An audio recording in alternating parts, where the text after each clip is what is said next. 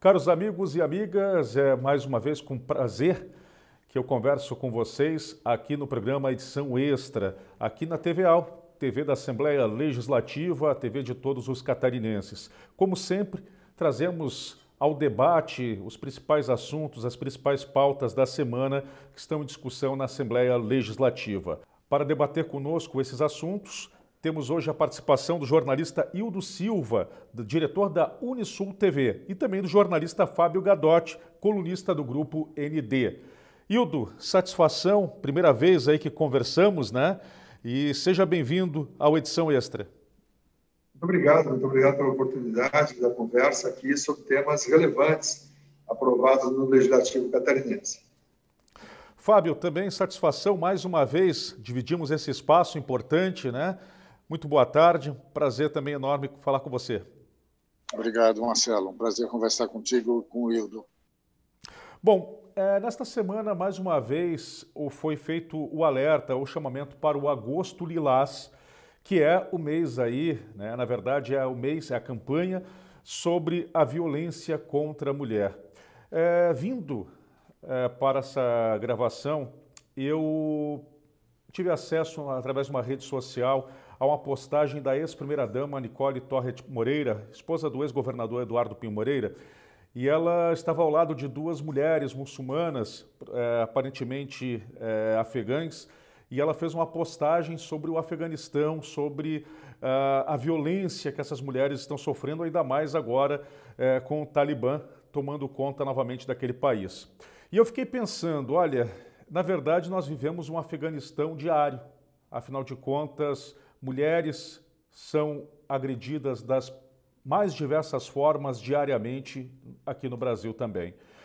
Bom, importante esse assunto levantado pelas parlamentares e mais ainda as, as iniciativas criadas no parlamento catarinense. Bom, é, Fábio, na sua opinião, é, por mais que se discuta, por mais que se crie é, iniciativas, quando é que você acha que nós vamos ter realmente efeitos mais práticos. Não digo que não sejam importantes as iniciativas criadas, são, e né, nós temos que apoiá-las, mas, ao meu ver, a violência ainda continua é, lutando né, contra as ações da sociedade. É, Marcelo, eh, na realidade é um problema complexo. Né? Eu penso, primeiro, que uh, nós já avançamos bastante nos últimos 15 anos com a lei da Maria da Penha, que acabou de fazer aniversário agora em agosto. Uh, mas é lógico que a gente tem um longo caminho ainda a percorrer. Uh, me parece uh, que talvez uma das principais seja garantir a efetividade de algumas medidas da Lei Maria da Penha, como, por exemplo, a efetividade das medidas protetivas. A gente está eh, cansado de ver né, mulheres que pedem medidas protetivas, que fazem a denúncia, que fazem o registro, que procuram a, a defesa e a proteção do Estado e, e, alguma, e o sistema não funciona e elas acabam sendo agredidas novamente e muitas vezes assassinadas. Então, me parece que talvez o principal desafio seja garantir a efetividade de algumas medidas já previstas em lei. Uh, é claro que a lei pode ser ainda mais dura e, e, e daí cabe ao legislador tratar disso, né? Mas eu imagino que agora, no momento, uh, parece que a discussão mais imediata, mais urgente, seria poder público implantar medidas que garantam a efetividade dessas, dessas medidas protetivas.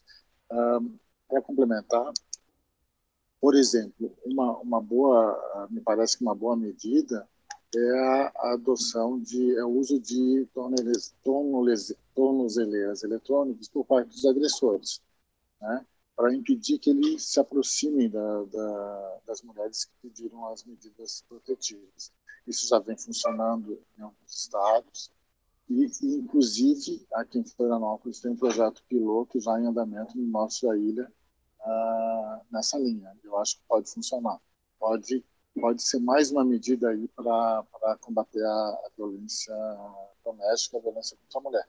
Mas é lógico que tem outros assuntos que a gente pode uh, continuar discutindo, conscientização, né, educação, enfim, uh, sensibilizar as mulheres, encorajá-las a denunciar cada vez mais, enfim.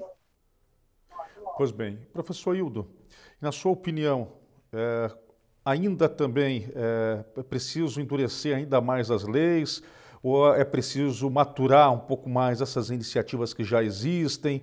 Qual é a sua opinião a respeito também dessa questão relacionada à violência contra a mulher? O Fábio abriu a fala, obrigado Marcelo. É, o Fábio inteligentemente abriu a fala citando que é um assunto extremamente complexo, e é realmente extremamente complexo. A questão do Afeganistão, as mulheres perderam muito com a saída dos Estados Unidos e com a tentativa de redemocratização do país, que desde a invasão soviética é, vem sofrendo abalos sérios e o Talibã nunca deixou de existir isso passou pelo Irã também, com a queda do Shah Reza Pahlavi, quando as mulheres passaram a ser é, tratadas como está no livro sagrado do Alcorão. E no, no, no, aqui mesmo no Brasil, pastores evangélicos que vão para a mídia social como bem-humorados e tal, eles em entrevistas dizem a mulher é propriedade do marido, a mulher casada deve obediência ao marido. Então, essa questão da educação é extremamente significativa. Enquanto houver a defesa de que o marido é o dono, o provedor, nós vamos ter dificuldade com a proteção da mulher. A mulher, enquanto é objeto, ela vira alvo é, dessa pancadaria e carnificina como se vê.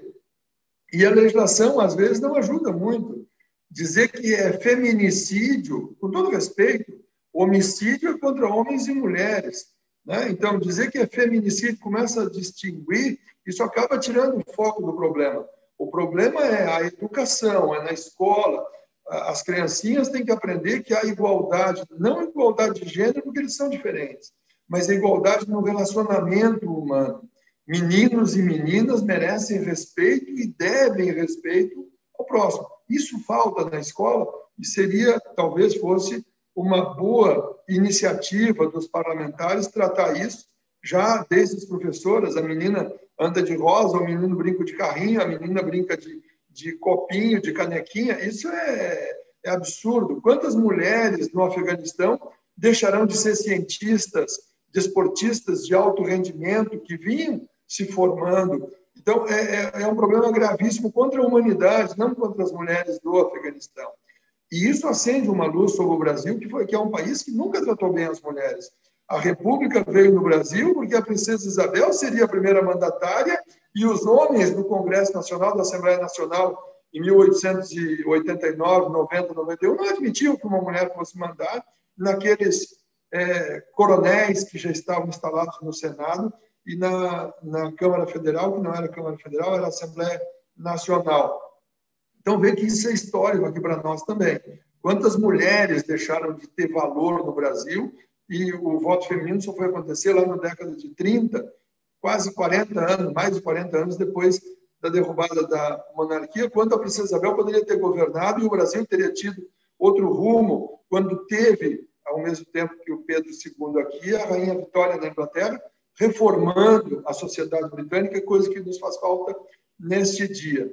E, além disso, a falência do Estado. Não é o Estado de Santa Catarina, é a falência do município onde vivo, é a falência do Estado onde moramos, que é Santa Catarina, e do Brasil como país, como Estado.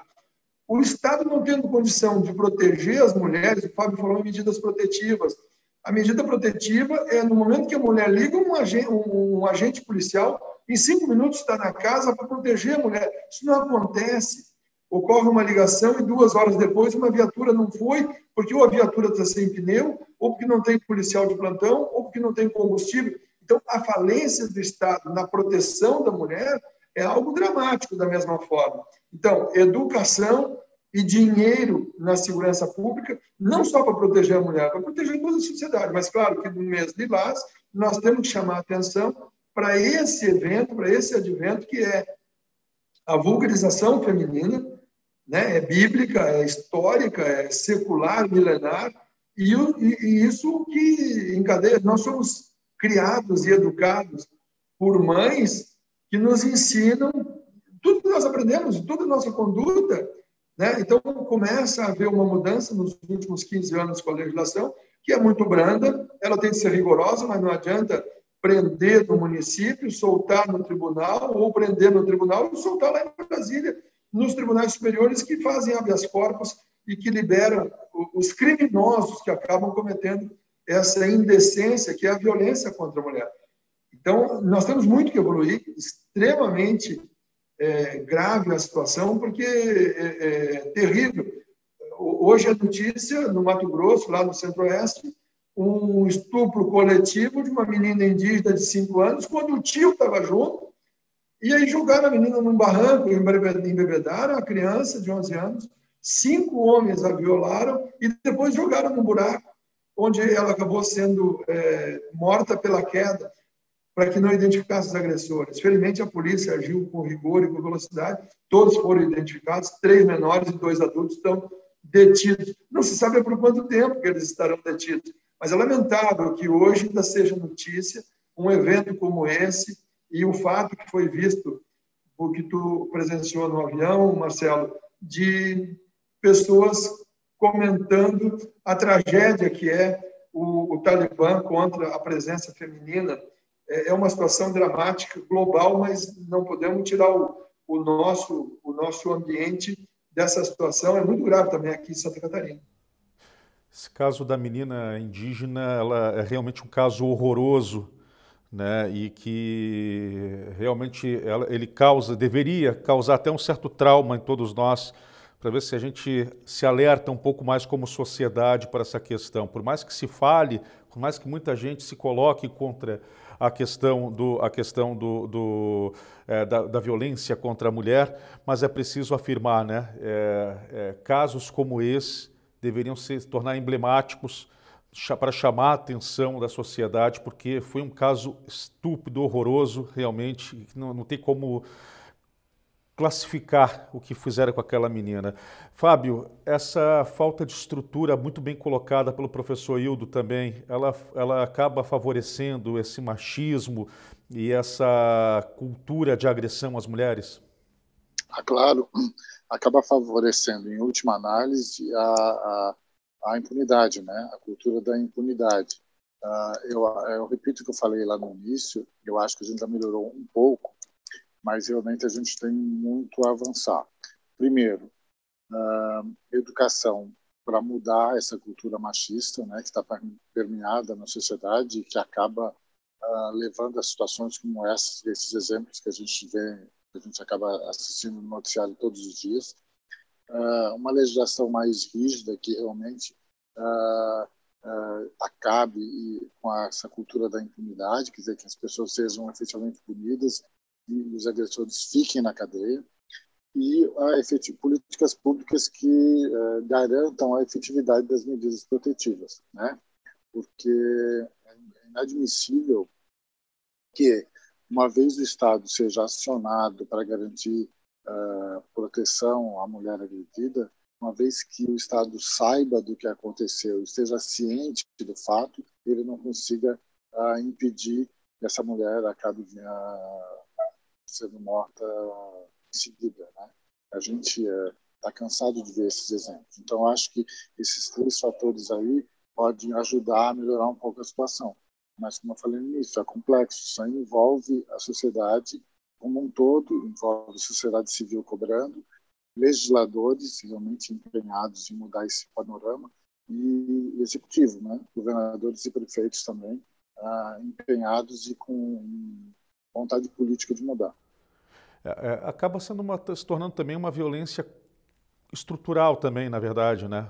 Você olha também, se você analisar como um todo, tem casos, por exemplo, tem uma iniciativa na Assembleia Legislativa criada justamente é, para tentar gerar possibilidades para a mulher agredida, que é o Tem Saída, né, que é, uma, é um projeto de autoria da deputada Ana Paula da Silva Paulinha, e no qual que essas mulheres elas acabam recebendo um preparo para voltar ao mercado de trabalho ou entrar no mercado de trabalho. E aí você nós voltamos para uma outra questão, a falta de oportunidade para muitas mulheres não é verdade? E que muitas vezes acabam presas a um casamento por causa dos filhos ou por causa delas mesmas, por não, por não ter para onde ir ou não ter o que fazer. Né? Até porque muitas vezes muitos maridos não deixam a mulher se capacitar, não deixam a mulher estudar, não deixam a mulher trabalhar. Ainda tem disso também, por incrível que pareça. É, talvez sim, esse ela... tipo de iniciativa. Como, Fábio?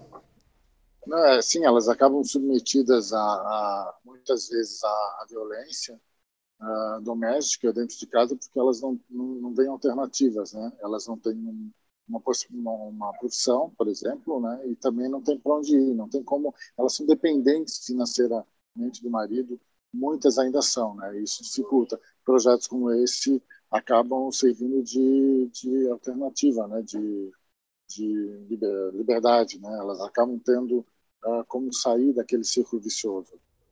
Pois é. Professor Hildo, é, claro que é importante a iniciativa, como eu disse antes, né? Você dá uma oportunidade para essas mulheres terem uma perspectiva de vida. Mas isso não tem que ser feito antes também, ou não tem que ter um maior controle social, por exemplo, dessa relação. Claro que as pessoas têm que, têm que ter a liberdade, né? tem que ter a, a, elas não podem ter a sua privacidade invadida, mas ao mesmo tempo, quando uma mulher é impedida de viver né, eh, de uma forma normal, por exemplo, de estudar, se preparar, trabalhar, pelo próprio marido. Daqui a pouco também não tinha que ter uma mãozinha do Estado ali para ajudar, para que essa pessoa não fique dependente, que ela construa já previamente uma independência para que, caso sofrer uma violência, que ela tenha para onde ir, que ela tenha ah, possibilidades? É, essa dependência é, econômico-financeira e social é, ela é dramática e talvez seja o cerne do, programa, do problema. A educação, sem dúvida, é uma questão determinante. É, observe essa, essa legislatura na Assembleia Legislativa, é a que tem um melhor número, o um maior número, melhor número porque maior de mulheres mandatárias, né, com mandato de parlamentar para representar as suas regiões, a sua população na Assembleia Legislativa, talvez por isso também se esteja observando esse movimento todo que nós estamos acabando de conversar aqui, por exemplo, hoje. Tubarão, que é uma cidade com 105 mil habitantes, até hoje teve eleita com votos próprios uma única mulher em toda a história da Câmara Legislativa. Hoje não há nenhuma vereadora eleita em Tubarão. Na legislatura passada e nas anteriores houve suplentes que assumiram por conta da entrada de homens em cargos do executivo e aí deixaram a vaga para aquelas suplentes que estavam ali, mas não tiveram voto para conquistar uma cadeira para fazer os quatro anos de mandato. Capivari de Baixo, o município aqui do lado, tem cinco mulheres. Braço do Norte tem quatro, cinco, seis mulheres. A presidente foi uma mulher aqui em Capivari, a próxima será uma mulher presidente. Em Tubarão não se vê isso. Uma cidade de porte médio, com 105 mil habitantes, que não tem uma mulher eleita. E aí, na legislação, precisa ter um, um, um gatilho dizendo que o número de mulheres tem que ser X%.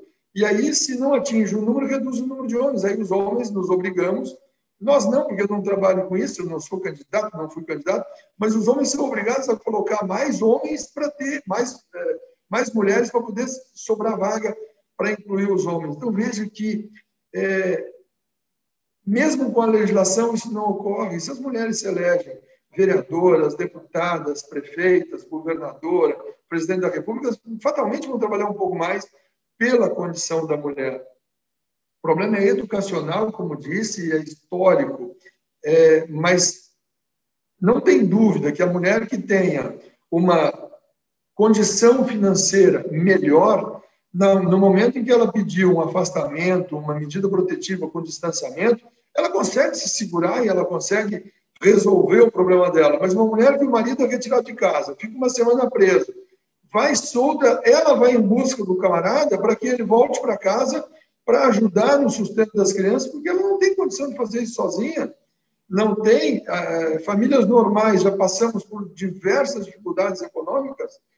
Veja, no Brasil inteiro é 10% o número de pessoas profissionais que chegaram ao ensino superior. Aqui em Tubarão, 12, 14. No Chile, são 23, na Argentina, 26. Ah, os países escandinavos, 40 e tantos, 50 e tantos por cento das pessoas têm curso superior e as mulheres estão nessa condição. Enquanto a gente tiver 90% das pessoas fora do banco universitário, ao contrário do que diz o ministro da Educação, nós vamos ter muita dificuldade. As mulheres sem formação e homens sem formação não conseguem sobressair a esse drama. Falta o pão na mesa, o pau come. A briga começa. Então, assim, a violência pode se dar pelos mais diversos motivos. Porque o cara se embriagou, porque faltou alimento na mesa, porque não tem como dar um calçado decente para a criança. Então, o problema é econômico, é financeiro e de educação. As pessoas partem para a agressão, como se vê no trânsito hoje em dia, homens e mulheres, marmanjões maiores que nós, descem do carro para afrontar mulheres que estão levando crianças na escola, que estão buscando filhinhos e que estão ali manobrando com dificuldade o carro, porque o respeito está faltando. Se houver respeito na rua, esse respeito chega dentro de casa. A dificuldade é que nós estamos perdendo as bases da sociedade, do bom convívio, e isso acaba em casais desestruturados, a violência aumenta. É, é só olhar as estatísticas, lamentavelmente as pessoas passaram a conviver mais com a pandemia, porque quem não podia trabalhar, trabalhava de casa. E, ao mesmo tempo, aumentou a violência doméstica. Mais tempo dentro de casa, maior o antagonismo, menos, menor uh, o nível de tolerância e de, de, equilíbrio, e aí a briga acontece e ocorre o crescimento do número de casos.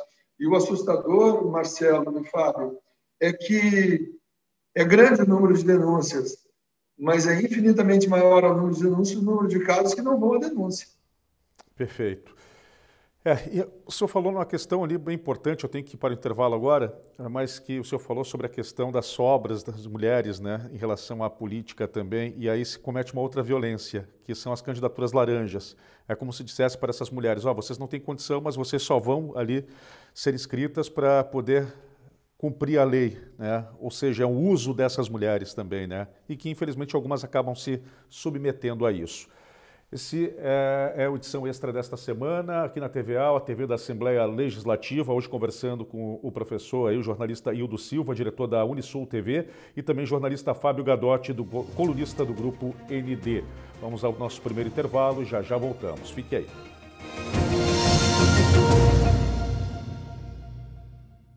Muito bem, estamos de volta com a edição extra desta semana aqui na TVA, a TV da Assembleia Legislativa. Lembrando que todas as semanas é, tem esse programa importante, não só comigo, mas com outros colegas também apresentando e também comentando é, e debatendo as principais pautas da Assembleia Legislativa. Hoje participam comigo o professor Hildo Silva, jornalista e diretor da, da Unisul TV, e também jornalista Fábio Gadotti, colunista do grupo ND. Bom, é, nesse segundo bloco, nós vamos conversar sobre um assunto bastante importante também, assim como os demais, né? Acaba é, sendo até desnecessário às vezes falar sobre assunto importante, porque assunto importante aqui não falta. É sobre a política de educação digital nas escolas. É, esse assunto ele é, tem sido bastante discutido, para, principalmente em relação ao uso seguro da internet né, de, por parte das crianças. Na sua opinião, professor Hildo, que, que é esse? Pode parecer uma pergunta muito simplória, mas o que, que é esse uso seguro da internet e como garantir isso para as crianças? É interessantíssima essa pergunta. É, o, que ocorre nesse momento é um reflexo do que estamos vivendo desde 17 de março do ano passado, com o advento da pandemia e com a paralisação do ensino presencial. Voltou é, de modo tímido, as universidades ainda não voltaram, é, voltam, mas sempre EAD, e uh, o, que, o ensino que menos teve paralisação foi efetivamente o ensino das crianças no ensino fundamental e médio, quando as escolas trabalharam com a, o modo virtual. E aí se identificou uma série de problemas, como de resto a nossa sociedade, eu não quero ser um crítico de azedo, nem nada disso, mas as crianças da escola pública não tem acesso à internet em casa e não tem equipamento para entrar na internet. Né? Então, esse trabalho da Assembleia, essa votação com o, o ensino via mídias sociais, via rede social, é importantíssimo, porque ele normatiza. E é preciso haver monitoramento, porque a internet é um meio livre é, é um meio que basta ter uma ferramenta para acessar, como um laptop, como um celular, e uma ligação com a rede para estar ligado com o mundo, com todo tipo de publicação. Então, os sites de, de que são problemas para as crianças, sites é, que tratam de cenas sexuais e, e outras é, questões, é, é, é auto-explicativo ali o acesso. Então, a criança bota um ok e está dentro, mas tem que haver controle. É possível numa empresa, e por isso é possível numa escola, limitar os acessos. E essa limitação é que está prevista nessa legislação que precisa monitoramento. Não dá para deixar uma sala de aula com criança sem professor, sem um tutor, sem alguém olhando aquilo que está sendo acessado. E esse acesso, esse monitoramento, não precisa ser junto no mesmo ambiente, pode ser num servidor quando vê o direcionamento que ocorre. Hoje, a internet está extremamente desenvolvida, os acessos à internet os softwares de monitoramento e de fiscalização igualmente. Não há que se inventar nada, isso tudo existe no mercado, isso tudo está posto. É preciso, sim, investir na aquisição dessas ferramentas que balizem, que normatizem, que regulem e que impeçam o acesso dessas crianças é, a conteúdos que não sejam é, adequados adequados àquela faixa etária, para que não haja, porque o conteúdo ele tem é, é relativo à questão do adequado ou não adequado. O problema é um hacker, um pedófilo entrar do outro lado e começar uma conversa com a criança enquanto ele estiver naquele ambiente suspeito. Então, esse controle precisa existir e, igualmente, a gente vê, o Fábio falou aqui, a gente vê o volume de notícias sobre todos esses temas e em relação a pedófilos entrando em contato com crianças pelo computador não é diferente.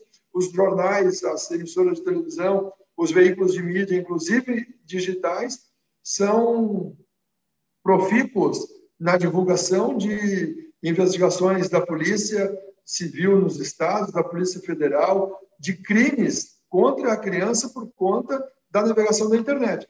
Então, é necessária essa medida que a Assembleia toma, é necessária, é fundamental, porque é um ambiente que passa a ser usado para escolarização coisa que não era até a pandemia, mas a partir de agora dificilmente deixará de ser um ambiente de escolarização. Pois é, é e Fábio, é, como deve ser o papel dos pais também nisso, né? Porque não fica só a escola, o ambiente escolar. Os pais também têm que se envolver diretamente nessa questão, até para ajudar o filho a lidar com esse mundo também. Até porque aqui tem uma outra questão importante, que é o chamado cyberbullying também, né? que é o bullying digital. Né? Então, muita gente até critica, é, é, diz que é normal né? É, qualquer tipo de situação constrangedora numa escola, que sofreu isso quando era pequeno, que isso não traumatizou, mas pelo contrário, há muito trauma causado pelo bullying. Né? E o cyberbullying acaba, de certo modo, até facilitando para quem adota esse tipo de agressão, porque ele está fora, ele está longe ele está atrás de uma câmera, né, atrás de um computador, então acaba até se sentindo mais incentivado. Mas qual deve ser o papel dos pais, na sua, na sua opinião, é, nessa questão aí do ensino digital e da inclusão digital cada vez maior que está acontecendo e cada vez mais cedo também, até porque a pandemia provocou isso, né? As crianças têm que estudar, têm que ter algum modo de estudar e aí elas estão tendo mais acesso ainda, a, inclusive até a rede social também. É, exatamente. Uh, esse problema, ele, essa questão, ela já era importante antes da pandemia, mas a, a, a pandemia acelerou né, esse processo de transformação digital e tornou isso mais uh, mais evidente, né? Tornou mais evidente a necessidade de discutir esse assunto. Uh, por isso eu considero uh, mais do que pertinente essa uma legislação sobre política de educação digital. Uh, uma das, um, dos tópicos, um, dos itens dessa legislação é justamente sobre os pais, né? o papel dos pais e a necessidade de que os pais uh, estejam preparados uh, para atuar ne, nesse processo, né? Eles estarem vigilantes para monitorar o conteúdo, uh, mas principalmente na minha avaliação para instruírem né, os filhos da, passarem informação para os filhos, para que eles também estejam, ah, digamos assim, blindados em relação a, a, a, conteúdos inadequados, a, a, a, conversas inadequadas, como o Ildo falou, né? Ah, e também é, é um conjunto, né? Pais e, e, e escolas atuando em conjunto né, nessa questão. Acho que esse é o objetivo principal dessa, dessa lei. Existe também uma, uma, um conteúdo, uma lei federal, tramitando na Câmara Federal, uh, instituindo o assunto no âmbito nacional. Importantíssimo que esse, que, essa, que esse tema venha à tona e seja discutido de uma maneira muito aberta e franca. É um problema muito grave e, e, e então, a escola, a minha escola, nem pais podem se omitir. Exato. É interessante que é, tem, é, por mais que se criem mecanismos também, né, os abusadores parece que estão cada vez mais ousados. É, esses dias aí até aconteceu um caso famoso de, um, de uma pessoa que trabalhava aí com, na área de videogame e, e com programa e que acabou sendo preso justamente sob uma acusação né? É, e que o contato também começava via internet. Né? Então, veja, é, por mais que se crie mecanismos, será que está faltando endurecimento das leis, professor? Não tem dúvida. Essa legislação aprovada na Assembleia ajuda um pouco nesse sentido, mas já existe legislação é, que permite o, o, a atuação das áreas policiais. Inclusive, é, tem um, um, ditado que se diz que a internet deixa rastro, é por onde a polícia segue.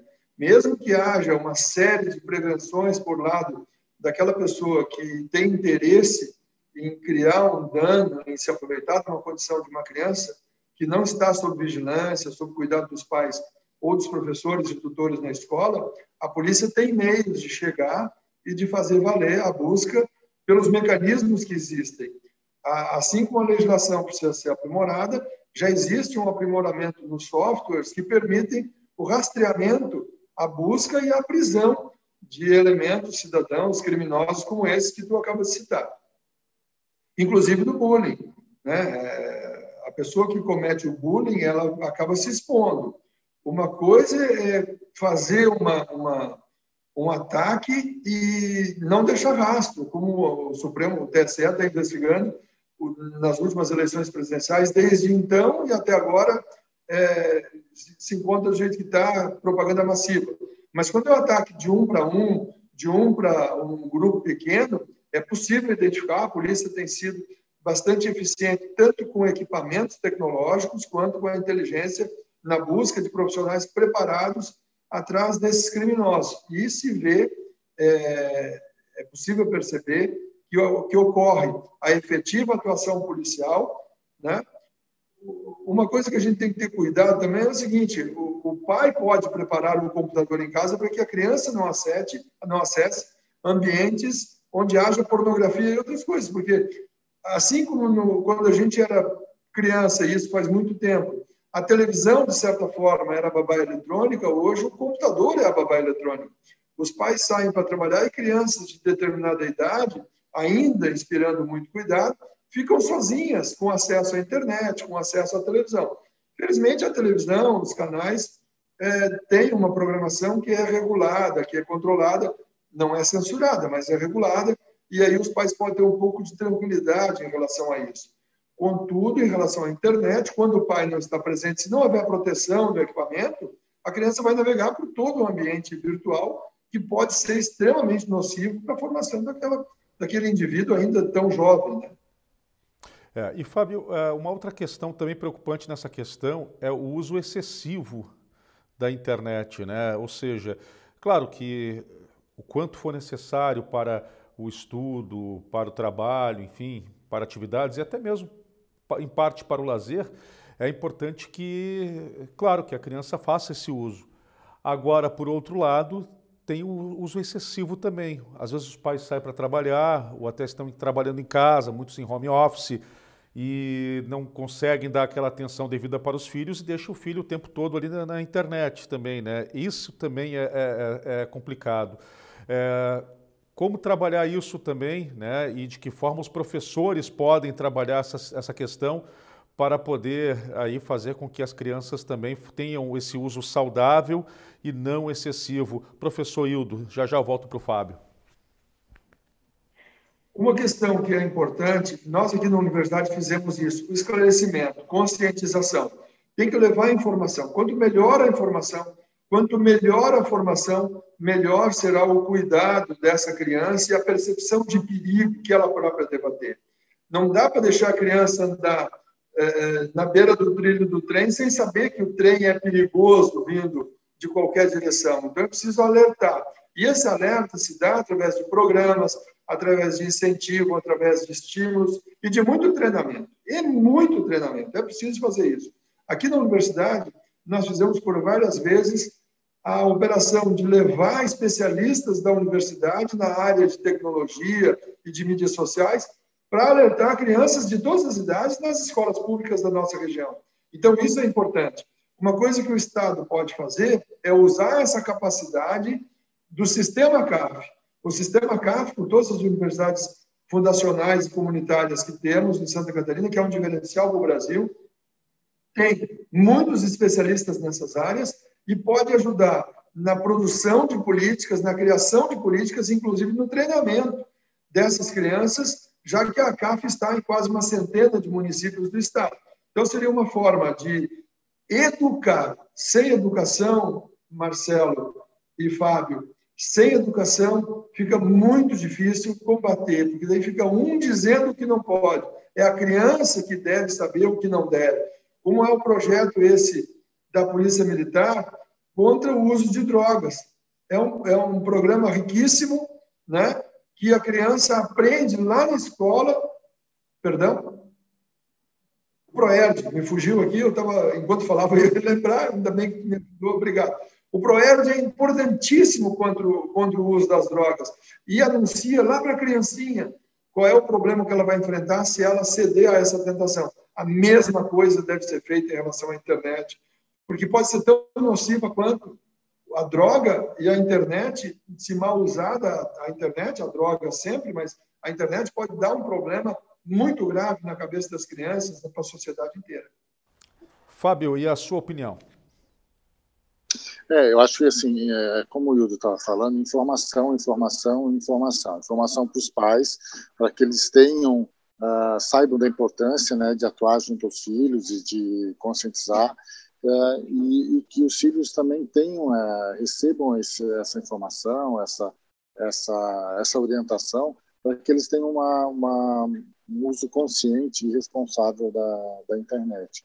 E como o Hildo falou, se eles tiverem informação, eles vão vão saber atuar de uma forma consciente, vão se blindar de eventuais uh, conteúdos inadequados ou conversas uh, prejudiciais e inadequadas também.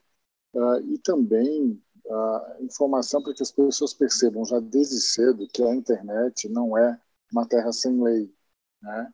que as pessoas não podem ficar falando o que bem entendem, atacar, enfim, porque isso gera consequências e está gerando cada vez mais consequências né?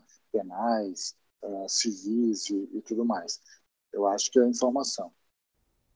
Muito bem. Bom, nós vamos para mais um intervalo. Na sequência, voltamos com o último bloco de hoje da edição extra desta semana. Fica o convite para você nos acompanhar semanalmente. Esse programa que é, lhe é transmitido todas as sextas-feiras aqui na TVAL. Vamos a mais um intervalo. Hoje o programa, lembrando que tem a participação do professor Hildo Silva, que é diretor da TV Unisul e também do colunista do Grupo ND, Fábio Gadotti. Já já voltamos. Espere aí.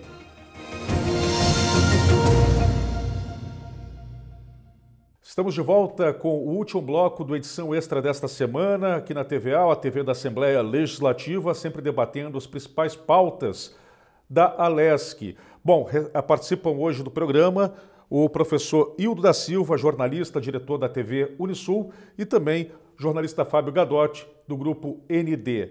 Bom, nesse último bloco nós vamos debater a questão aí do aumento da arrecadação do Estado em 2021. Inclusive, nesta semana, a Secretaria de Estado da Fazenda apresentou os relatórios aí de execução orçamentária e de gestão fiscal do primeiro quadrimestre de 2021 do Poder Executivo Catarinense.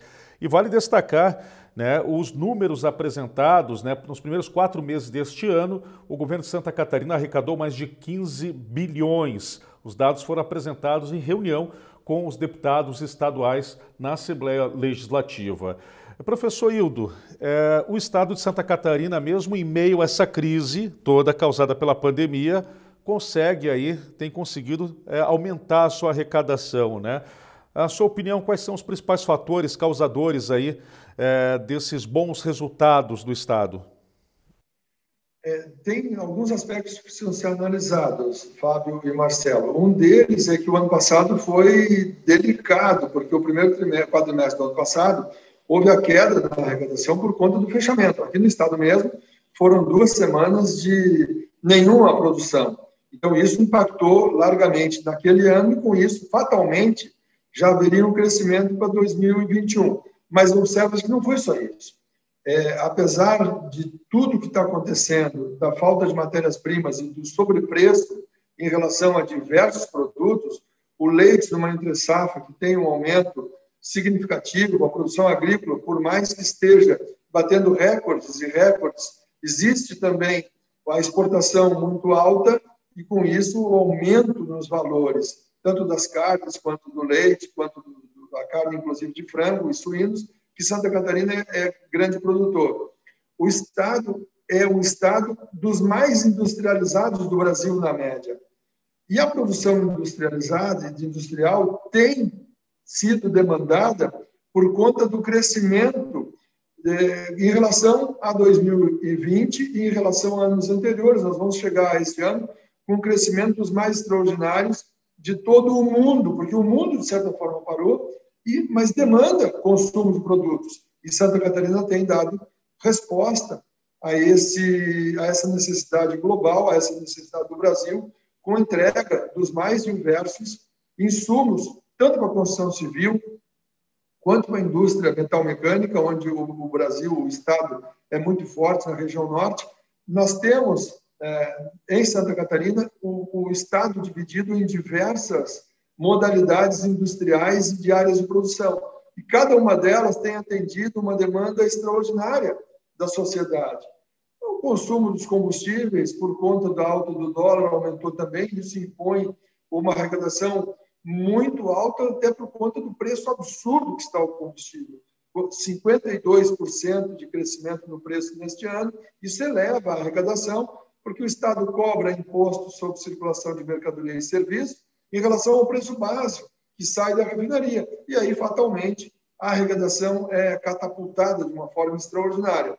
Tem um crescimento, tem o papel do industrial catarinense, que tem buscado o crescimento e atender às demandas, o Estado, que tem facilitado a vida da, das pessoas por não decretar o fechamento de indústrias, como aconteceu em São Paulo. Então, tem responsabilidade o é, mérito de todos os segmentos. A Assembleia Legislativa, que é, votou uma série de medidas dentro da pandemia, que facilitou a vida do empresariado, que acabou minimizando o impacto da pandemia, não fechamento de muitas empresas. E agora, no momento da retomada, quando a grande parte da população está vacinada, aí é possível observar essa retomada né, da, da atividade industrial com um grande sentimento de que nós estamos prontos e é possível entregar aquilo que está sendo demandado.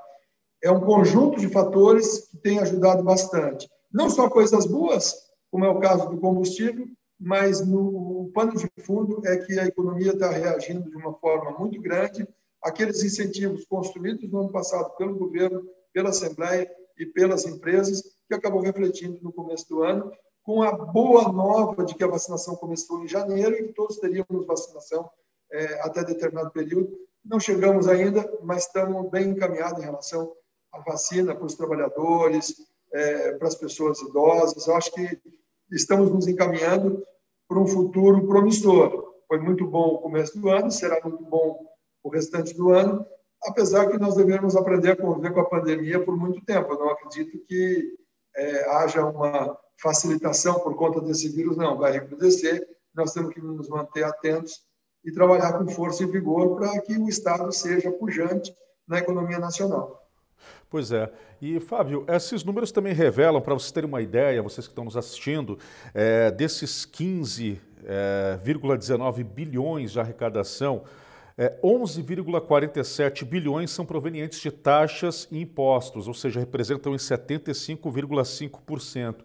O que mostra que a inflação puxa também esses números para cima, ou seja, então o Estado também acaba, é natural, acaba arrecadando mais, mas ao mesmo tempo que o Estado arrecada mais, isso reflete também aqui no empobrecimento e na perda de capacidade de compra da população, né? Ou seja, tem como fazer também essa leitura, né, Fábio? Sim. O que falar, Marcelo, depois da fala do, do Hildo, né? Que foi. uma aula? foi, foi, foi, uma aula, exatamente. Mas, uh, uh, só para complementar, eu uh, realmente concordo com ele. Sim, um dos fatores da, dessa, desses bons números de arrecadação se deve, a, primeiro, uma gestão fiscal que começou lá no início do governo, que eu acho que, que ajudou, ajudou um pouco, a diversificação da economia. Santa Catarina tem essa grande vantagem, né, uma economia bem diversificada. Uh, ela é forte na, na, na, nas exportações, só basta a gente ver os números de exportações de carne suína, frango, enfim, foram bem expressivos. E concordo com o Hildo a vacinação, que eu acho que assim deu um fôlego para a retomada da economia que se espera que seja mais forte ainda no final do ano com a com, a, com o segundo ciclo completo, né? E com uma temporada de verão que a gente uh, estima e as perspectivas são ótimas, melhores impossíveis. Agora, realmente, Marcelo, o, Estado, ele, a boa parte dessa arrecadação, é, ela vem da arrecadação de, de impostos.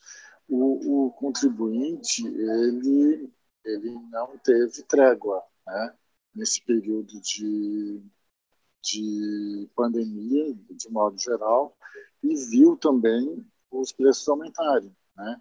Uh, tanto que uh, eu, eu faço uma ressalva. Assim, eu, eu vejo a perspectiva com otimismo. Eu acho que a gente está em, plena retomada da economia devido a todos esses fatores.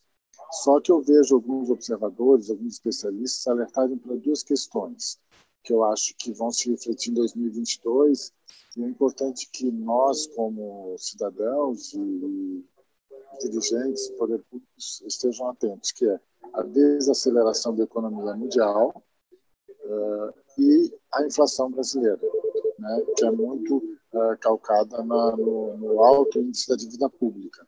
Mas eu sou otimista, assim, eu acho que se a gente conseguir controlar essas duas questões e, e os fundamentos da economia brasileira são fortes nesse sentido, eu acho que a gente vai terminar o ano bem começar 2022 da mesma forma.